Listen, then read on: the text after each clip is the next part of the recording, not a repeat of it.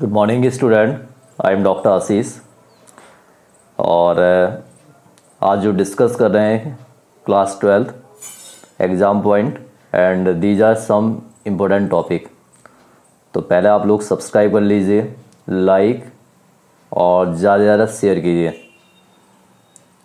Okay और इसमें मैं आपको ये भी बता रहा हूँ कि जो एग्ज़ाम में जो पहले आप क्वेश्चन को कायदे से स्टडी कर लीजिए। और क्वेश्चन में जो पूछा गया उसको आप राइट कीजिए। ये नहीं कि जल्दबाजी में क्वेश्चन कुछ पूछा जा रहा, अब आंसर कुछ और दे रहे हो। तो पहले क्वेश्चन को डीपली स्टडी कीजिए और फिर उसके अकॉर्डिंग वहाँ पे आप आंसर दीजिए। ओके तो यहाँ पे आप एक पिक्चर देख रहे हुए ये पिक्चर जो इंडिकेट की गई है। यहाँ पे जो इंडिकेट किया गया इम्प्लांटेशन ओके और यहाँ पे देखिए सपोज़ ये भी आ जाता कभी भी डायग्राम मेंशन कर दिया था, उसमें बोल दिया था कि इसमें पार्ट कौन कौन से हैं। सपोज़ ये देख रहे स्ट्रक्चर आप देख रहे ये स्ट्रक्चर बोले स्ट्रक्चर कौन सी है? या जो न्यूट्रेंट्स है, यहाँ तक बेबी तक पहुँच रहे हैं तो किसकी हेल्प से पहुँच रहे हैं? ठीक? और बेबी बॉडी के आउटसाइड क्यों होता है? ये काफ़ी क्वेश्चन यहाँ पे अराइज हो रहे हैं। तो पहले, सबसे पहले आप लोग ये ध्यान रखिए क्वेश्चन में क्या पूछा जा रहा है, और हमें उसके अकॉर्डिंग कैसा आंसर देना है। ये आपको पता होना चाहिए। पहला इसमें पॉइंट है इसमें कॉरियोनिक बिली कॉरियोनिक बिली का फ़ंक्शन क्या होता है? क्या वर्क होता है कॉरियोनिक बिली बताइए आप लोग। थिंक कीजिए। पहला पॉइंट है आपका।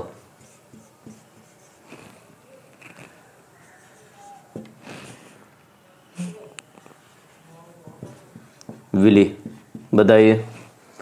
कॉरियोनिक विली क्या है? आपने स्टडी किया हुआ इम्प्लांटेशन आफ्टर इम्प्लांटेशन इम्प्लांटेशन क्या होता? ब्लास्टोसिस्ट का अटैच होना यूटराइन बल से. तो after implantation finger like structure जो फिंगर लाइक स्ट्रक्चर होती है. After implantation finger like structure appear on the trophoblast ये जो फिंगर लाइक स्ट्रक्चर है, ये एपियर होती कहाँ पे बताइए.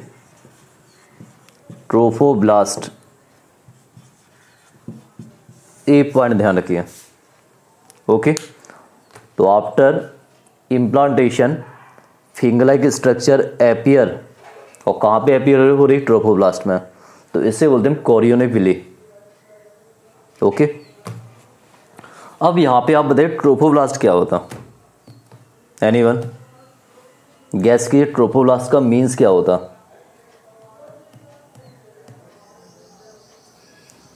आपने स्टडी किया हो ब्लास्टोसिस्ट? ब्लास्टोसिस्ट। और ब्लास्टोसिस्ट की जो आउटर लेयर है आउटर लेयर को क्या बोलते हैं? Trophoblast the outer layer of blastocyst it is called trophoblast एक कंडीशन होती है, यहाँ पे सेल होती है। होती है?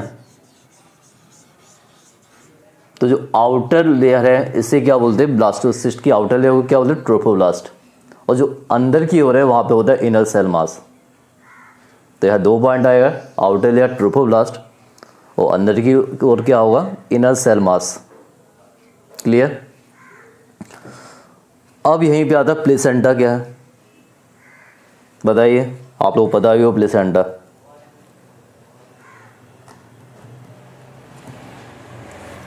यहाँ पे क्या? कॉरियोनिक विली और दूसरा यहाँ पे आ जाए यूट्राइन टिश्यू यूट्राइन टिश्यू दोनों आपस में एक स्ट्रक्चर बनाएगा। इससे बोलते हैं प्लेसेंटा ये इंपॉर्टेंट है। क्या बोलेंगे? प्लेसेंटा और प्लेसेंटा का मेन वर्क क्या है कि जो न्यूट्रेंट्स हैं गैसेज है, इनको कहाँ तक पहुँचाना? फीटस तक। और फीटस के अंदर जो सी ओ टू है या नाइट्रोजन वेस्ट है, इसको आउटसाइड करना, बाहर रिमूव कर देना। और इसी में एक पॉइंट आता है कि जो न्यूट्रेंट्स पहुँच, वो बेबी तक पहुँच। इसको क्या बोलते हैं? जो न्यूट्रेंट्स बेबी तक पहुँच फीटस तक पहुँच, किस मीडियम से ट्यूब होती है, इसे क्या बोलते हैं? इस ट्यूब को बोलते हैं अम्ब्रिका कॉर्ड ओके ध्यान रखिए।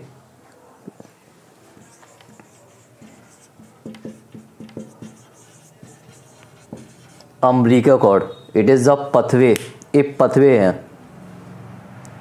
क्लियर तो it is the pathway transport of nutrients जो न्यूट्रेंट्स से कहाँ तक जा रहा फीटस तक। तो with the help of umbilical cord next question give reason placenta it is also called endocrine tissue क्या रीजन इससे हम बोलते हैं? Endocrine tissue because it release different hormones first human chorionic gonadotropin S C G बोलेंगे। Human chorionic gonadotropin. तो ये इस इनको आप ध्यान रखिए कि प्लेसेंटा से कौन कौन से हार्मोन्स रिलीज़ हो रहे हैं, ये आपको पता होना चाहिए। ओके तो पहला पॉइंट है S C G human chorionic gonadotropin. Second आ जाएगा H P L human placental lactogen इसके बाद ईस्ट्रोजन ये तो काफ़ी इंपॉर्टेंट हार्मोन्स है ईस्ट्रोजन और इसके बाद प्रोजेस्टेरॉन प्रोजेस्टेरॉन ओके तो इन हार्मोन्स को ध्यान रखिए. These hormones release as the placenta and these hormone release placenta so it is called mix gland first point human chorionic gonadotropin second human placental lactogen third point estrogen और last point आ जाएगा prolactin इसके बाद letter phase of pregnancy कौन कौन सा hormone release होता है? रिलैक्सिन तो relaxin it is release as the later phase of pregnancy and some hormones maintain the fetal growth and you know as the different hormones it have the fetal growth कौन कौन से hormones fetal growth को maintain करते हैं। तो वहाँ पे क्या ईस्ट्रोजन प्रोजेस्टेरॉन कॉर्टिसोल प्रोलैक्टिन और थायरोक्सिन इन सभी का वर्क है फीटस की ग्रोथ को मेंटेन करना। अब यहाँ पे पॉइंट है कि जो फीटस का डेवलपमेंट होता है कौन कौन सी लेयर से होता है? तीन लेयर होती है एक्टोडर्म मीजोडर्म और लास्ट क्या जाएगा? इंडोडर्म मीन्स इन तीनों लेयर से फीटस के डिफरेंट ऑर्गन्स बनते हैं। और यहीं पे एक पॉइंट है स्टेम सेल स्टेम सेल आप लोग ध्यान रखिए। स्टेम सेल क्या होती है? बता सकते हो आप? एनी वन स्टेम सेल क्या होती है? जो inner cell mass inner cell mass containing cell it is called stem cell and this cell capable formation of new cell इनमें कैपेसिटी होती है। अब यहाँ पे पॉइंट आता है पार्चुरेशन पार्चुरेशन क्या है? बता सकता है कोई? बताइए जिसे पता हो। कमेंट बॉक्स में भी देख सकते हो।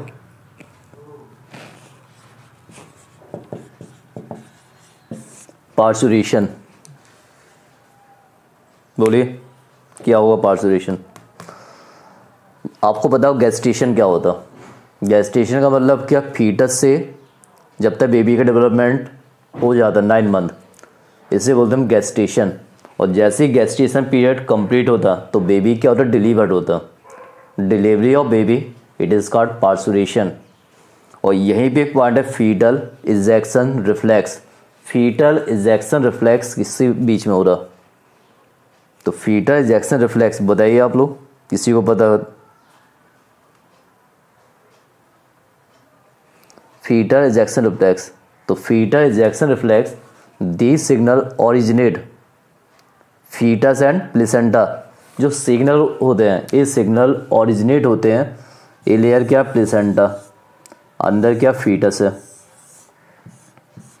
तो इसके सिग्नल और इसके सिग्नल मीन्स इसका क्या होता है? जब बेबी कंप्लीट डेवलपमेंट होता है। तो जो सिग्नल फीटल और प्लेसेंटा के बीच में फॉर्म होते हैं, इसे बोलते हैं फीटल इजेक्शन रिफ्लेक्स और एक प्रोसेस होती है न्यूरो इंडोक्राइन मैकेनिज्म तो this process it is called neuro endocrine mechanism and this signal originate fetal okay और प्लेसेंटा सिग्नल जो ओरिजिनेट हो रहे हैं फीटर एंड प्लेसेंटा के बीच में. तो इसे बोलते हैं फीटल इजेक्शन रिफ्लेक्स बाहर निकलना. और यहीं पे एक हार्मोन्स होता है ऑक्सीटोसिन इसको भी आप लोग सही से ध्यान रखिए। ऑक्सीटोसिन ये हार्मोन्स होता है। कहाँ से रिलीज़ होता है? पिट्यूटरी ग्लैंड से। और जब ये हार्मोन्स बार बार रिलीज़ हो रहा तो उसकी वजह से जो यूट्राइन मसल्स है भाई बार बार क्या इसमें एक्सपल्सन स्टार्ट हो जाए कॉन्ट्रैक्शन और उसकी वजह से बेबी क्या बॉडी के आउटसाइड आ जाते हैं। देन यहीं पे क्या lactation after delivery of baby some time duration it is called lactation milk formation तभी स्टार्ट हो जाता है जब बेबी का डेवलपमेंट होना स्टार्ट होता। है और यहीं पे एक पॉइंट है कोलेस्ट्रम कोलेस्ट्रम ये भी क्वेश्चन पूछ लिया जाता है कि कोलेस्ट्रम का इंपॉर्टेंस क्या है। Initial few day of lactation present specific type of antibody I G A and these antibody it have the growth of fetus okay these antibody it have the growth of fetus ये antibody help क्या कर रही है? Foetus की growth करने में। Out environment से protect कर रही है। क्लियर तो colostrum it is necessary for the baby baby के लिए नेसेसरी है कोलेस्ट्रम और अपने डाउट बताइए क्योंकि ये सब एग्ज़ाम पॉइंट है। अब यहाँ पे डायग्राम आता है इसको भी आप देख लीजिए। हम्म, ठीक है? इस डायग्राम पूरा पतरे बताया गया। यहाँ देखिए ये है एग सेकंड में क्या होता है? एग और स्पर्म मीटिंग हुई। और जब मीटिंग हुई तो क्या बना? जाइगोड जाइगोड में डिवीज़न हुआ यहाँ पर। टू से क्या? फोर फोर से एट एट से सिक्सटीन सिक्सटीन से थर्टी टू इससे बोलते हैं ब्लास्टोसिस्ट। ओके अब इस टॉपिक में भी काफ़ी क्वेश्चन डिस्कस हो जाते हैं। तो पहले तो यहाँ पे एक पॉइंट आता है क्लीवेज आप लोग बता सकते क्लीवेज क्या होता? आपको पता होना चाहिए क्लीवेज क्या है। क्लीवेज बताइए। क्लीवेज का मीन्स क्या होता?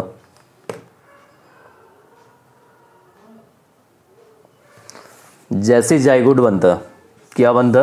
जाइगोट और जब जाइगोट बन जाता है तो जाइगोट मूव करता है ओविडक्ट के पार्ट इस्तमस की तरफ़। Zygote move as a part of oviduct और ओविडक्ट का कौन सा पार्ट इस्तमस तो उस कंडीशन में बोलते हैं क्लीवेज अब यहाँ पे नंबर ऑफ़ सेल इंक्रीज हो रहे। टू से क्या हुए? फोर फोर से एट एट से सिक्सटीन मतलब टू से सिक्सटीन तक। तो इन्हें बोलते हैं ब्लास्टोमर्स ब्लास्टोमर्स ओके तो टू से sixteen it is also called blastomeres अब यहाँ पे एक पॉइंट है, कुछ स्टेज बता दें जब कंडीशन एट से सिक्सटीन तक होती है तो इसे कौन सी स्टेज बोलते हैं, बताइए। ओके जब एट से सिक्सटीन तक तो स्टेज होती है आपकी मारूला। अब इसी में जो ब्लास्टोसिस्ट है, अभी मैंने बताया था ब्लास्टोसिस्ट की आउटर लेयर क्या होती है? ट्रोफोब्लास्ट और इनर लेयर क्या होती है? बताइए, इसको आप कमेंट से बताइए। और यहीं पे पॉइंट है implantation blastocyst attach in the uterine wall blastocyst का यूट्राइन वाल से अटैच होना। And blastocyst attach uterine wall it is called implantation blastocyst जब यूट्राइन वाल से अटैच होता तो इसे बोलते हैं इम्प्लांटेशन ओके नेक्स्ट ये डायग्राम देखिए आप यहाँ पे. यहाँ पे क्या एग एक है स्पर्म और इसमें आइडेंटिफाई करने लिए आ ए क्या है वी क्या है सी क्या है। ये आपको पता होना चाहिए पार्ट्स कौन कौन से पार्ट क्या है। अब देखिए जो ओवम के चारों तरफ़ जो लेयर है, इससे बोलते हैं जोना पेलुसिडा क्या बोलते हैं?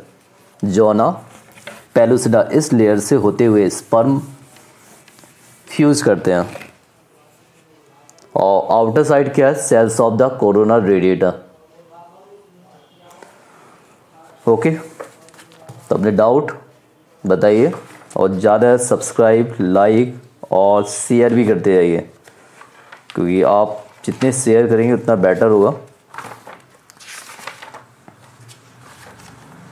बाकी आप लोग ध्यान रखिए, जो chapter number fourth reproductive health वहाँ पे कुछ different types of method natural physical ठीक है? Natural method barrier method chemical method और surgical method it is the method control the population natural method include three points मैंने आपको बताए थे। फ़र्स्ट क्या बताया था? क्वाइटस इंटरप्ट सेकंड पॉइंट बताइए। पीरियडिक एब्सटिनेंस और last point lactational amenorrhea barrier में कुछ डिवाइस बताई थी मैंने like the condom diaphragm cervical caps vaults और इंट्रा यूट्राइन डिवाइस यहाँ पे एक था हार्मोन्स रिलीजिंग एक था आपका कॉपर रिलीजिंग तो हार्मोन्स रिलीजिंग कॉपर रिलीजिंग में क्या? कॉपर टी है कॉपर सेवन है मल्टीलोड थ्री सेवेंटी फाइव है। तो कॉपर टी क्या रिलीज़ करती है? Copper ion and copper ion क्या करता है? Suppress the sperm motility rate and suppress the sperm fertilizing capacity hormones releasing IUD में आ जाएगा आपका एल एन जी ट्वेंटी ध्यान रखिए। एल एन जी बंदूक होती है एल एन जी एक ट्रिक पे याद रखना, बंदूक होती नहीं है। तो हार्मोन्स रिलीजिंग आयोडी इसके अकॉर्डिंग आता है एल एन जी ट्वेंटी इसको ध्यान रखिए आप। ओके तो it is the example of hormones releasing IUD और इसमें जो आपको पता, जो कॉम्बिनेशन होता है प्रोजेस्ट्रॉन का होता कुछ ओरा कॉन्ट्रसेप्टिव होती हैं। तो ओरा कॉन्ट्रसेप्टिव में जो मैन आएगा यहाँ पे, या तो ईस्ट्रोजन का कॉम्बिनेशन होगा, या ईस्ट्रोजन है प्रोजेस्ट्रॉन का। और पिल्स का मेन इंपॉर्टेंस क्या होता है?